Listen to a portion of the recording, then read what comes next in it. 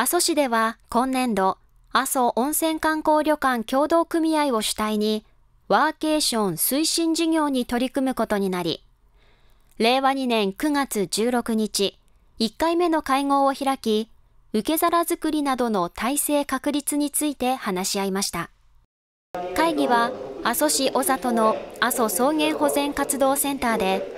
阿蘇温泉観光旅館協同組合や阿蘇カルデラツーリズム推進協議会のメンバーらが出席して開かれ、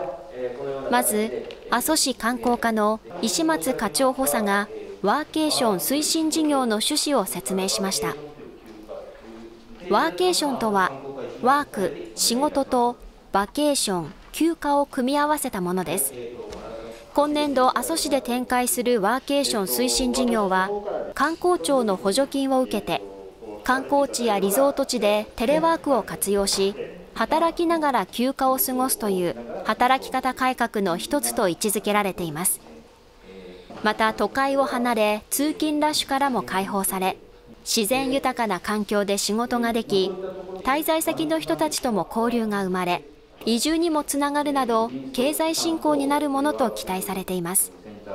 出席者からは遊水地にある立ち木にロープを張ってアドベンチャー遊びなどを行いたい。1週間から2週間の滞在ではなく1ヶ月から3ヶ月のロングランでなければワーケーションにならないなどの意見が出されていました。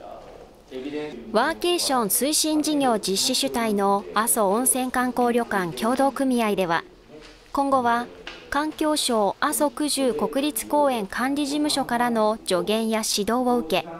JR 西日本などとタイアップして誘客を具体化していくということです。